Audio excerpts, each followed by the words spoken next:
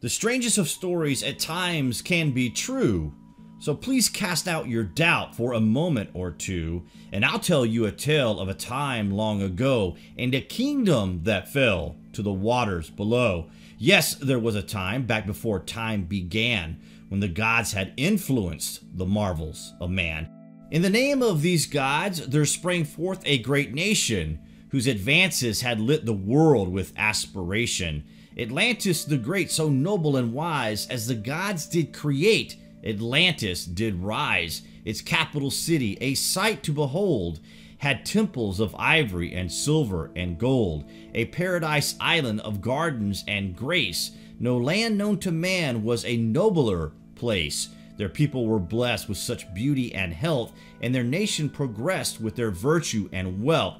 Yet sometimes the greatest of things have a cost, and sometimes such virtues and grace can be lost. In time it was said that the beauty had died when their hearts were corrupted with arrogant pride.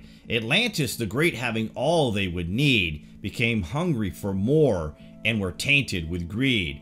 So they took to the sea with their lust to gain more, with their pride and their greed they set sailing for war.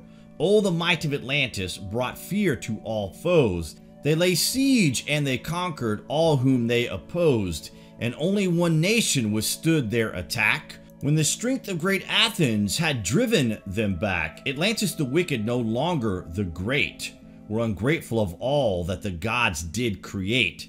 Atlantis the hateful no longer brought joy, so as gods can create, they can also destroy. And deep in the night their foundation did rumble, their towers were toppled, the temples did crumble a divine cataclysm, as if gods were to say, All gifts we have given, we now take away. And they threw down the heavens and pushed up the sea until Atlantis, oh Atlantis, was no longer to be. Yes, the greatest of nations was wiped from the earth, for they fell from great grace and forgot their own worth.